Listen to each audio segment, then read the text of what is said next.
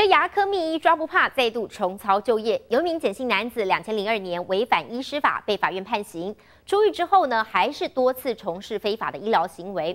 二零一六年的时候，他先在北投营业被查获，这两年又转战板桥，拆掉了旧招牌，采低价促销来吸引顾客上门。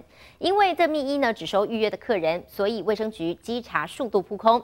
这个月他再度查获了疑似非法诊疗，被移送新北地检侦办。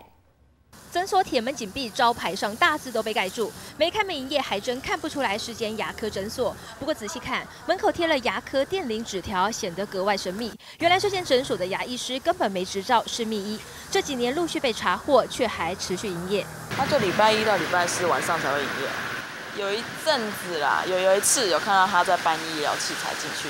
新北市板桥这间牙医诊所门口两块招牌全被色块盖住，看不出名称。对比 Google 街景照片，以前叫大福牙医，橘色招牌，现在改名称叫正勇，招牌也变白色。非法执业的简姓男子，之前还曾在北投违法看诊遭查获，上个月又被镜头捕捉到疑似他的身影，没想到五月又爆出转战板桥。有用一些低价的促销方式，然后吸引民众过去看。